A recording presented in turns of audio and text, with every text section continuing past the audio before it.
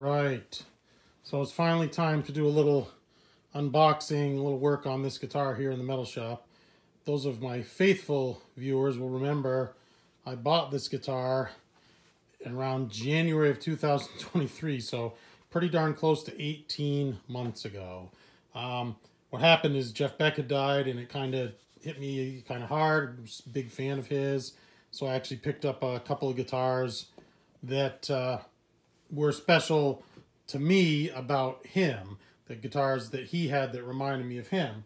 And you remember, I got the uh, the soloist here in the orange, which is very close to the guitar that he had here on the cover of the Musician magazine back in 1985. And the other one that I really liked was his pink soloist and this is also this is from January of 1985, but this is one of the very first Jackson soloists made.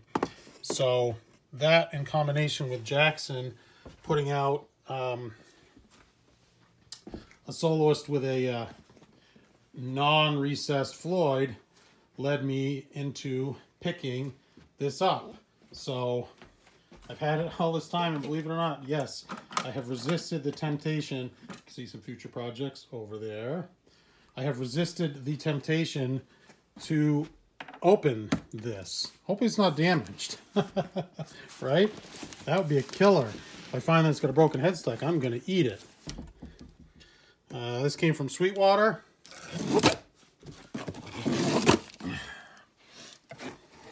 Sorry, we're gonna gonna one hand this here.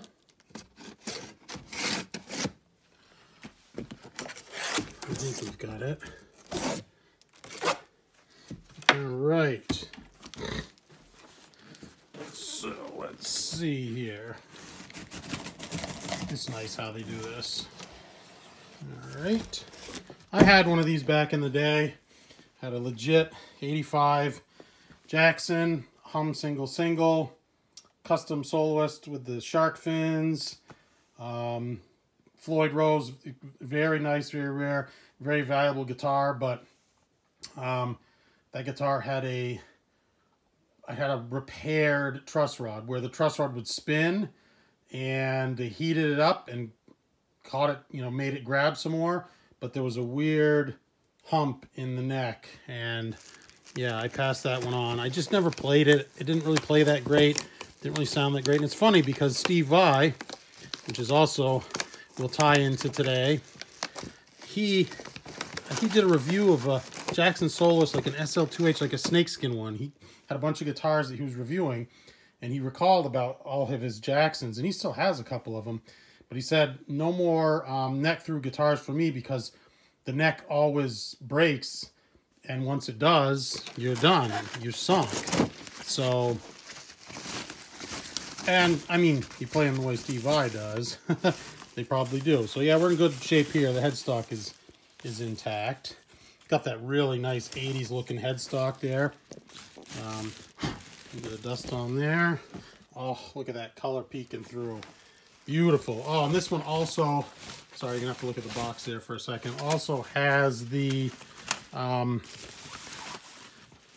the dot inlays. All right, so we're back.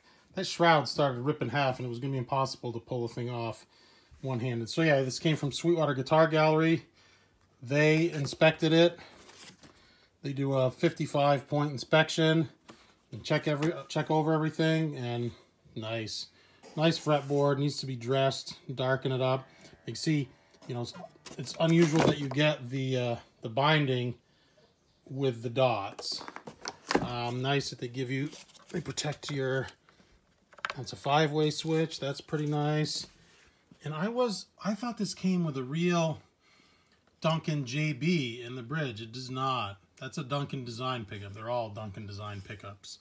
And that tremolo is the special. Disappointing. Disappointing at this price point. I thought I was getting the 2000. I don't remember. It's been such a long time. Um, anyway, let's put this on the workbench.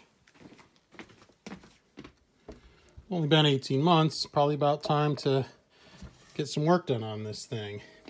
So what are we going to do? Well, all the same stuff um, that I did to the orange one.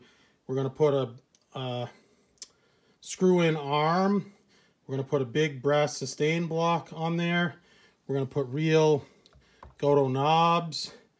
I like to do shallow strap locks. We're going to replace the the input jack because it has that really crappy um, import style input jack. I must say the finish on this is is flawless. God, dig the the non-recessed Floyd Rose. And if you see, this thing is, it sits up off the body. That's really old school. So you can pull it up and down. So what are we going to do with it?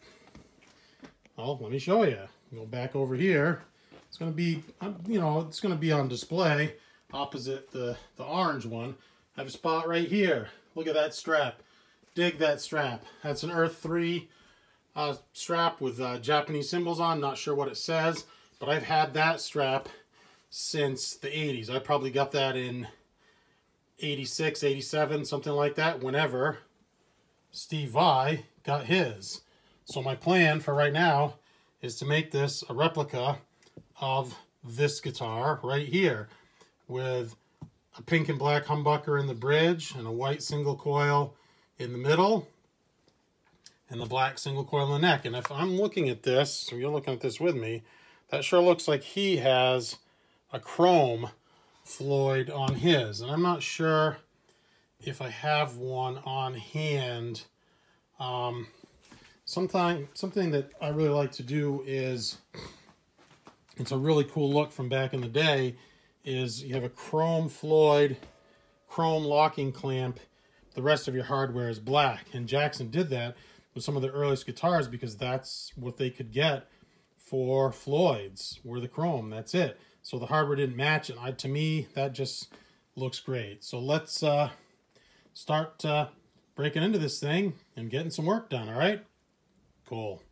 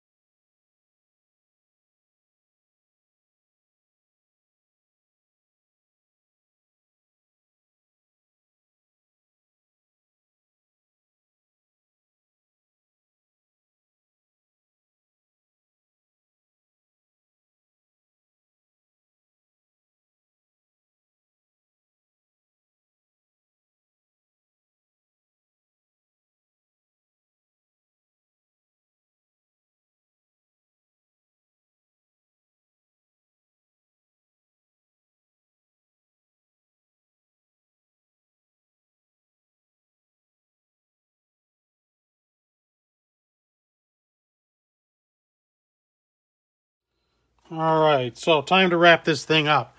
Uh, sorry, I did swap out the pickup. This is a Dragonfire, uh, whatever their hot ceramic humbucker is. I can't remember. I really liked the description. Really happy with Dragonfire pickups. Got the white cover on. That was a pain.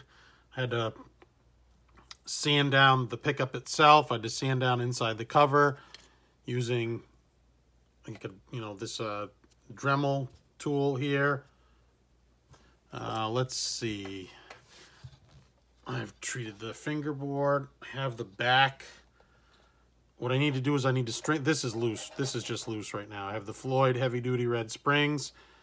This is the Alnico, Alnikov. I won't keep wanting to say Alnico 5 as a guitar player, but it's the Alnikov trem center. This will screw in place and it, it's pretty unique. It works very well. Um, you can still go up and down, um, but it acts like your tremolo is blocked here. A funny thing, when I was uh, when I ran the wires, it's really tight because they go all through the same hole.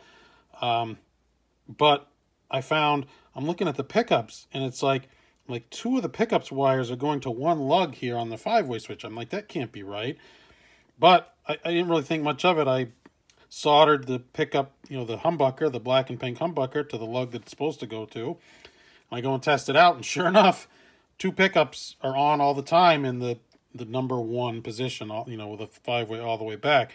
And I look at it, I'm like, that's not right. So that came from the factory with the the middle pickup and the bridge pickup soldered to the same position on the five way. Weird. Um, I don't know if you can, if the camera is going to pick this up here. Let's see if I can, can I, there we go. Yeah, I can get in there. But this route in here is terrible. I mean, it is terrible. There is little bits of sawdust and wood shavings and routing, I, little fingers everywhere, and they painted it pink. I mean, it's hidden inside here, but I've been pulling little pieces have been falling off um, all over the place. And this is, I'm not sure where this is from. This has got black, there's some shielding paint on it. So that had to have come from inside this cavity somewhere. But these little pink pieces have been flying all over the dang place. So what do we have left to do here? I have some the real Gotoh knobs to put on there instead of these plastic inserty things that come on the guitar, which I can't stand. These stink. I don't know if I'll be able to pull them right off by hand. Yeah, I mean, I've done this before, but you can see that. That's just, I hate that. That's garbage. Anyway, yeah, when the when the selector was all the way in this position, this pickup and this pickup were on all the time. I've got that fixed. Um, yeah, you saw everything in the time lapse. Oh, that one's gonna, that one does not want to come off. Got the jack plate. Oh, and I had, I have metal, uh, metal back plates made for this. So let's, uh, let's get this stuff going in time lapse. I need to get this thing off the bench and get a guitar that's actually paying on the bench. All right.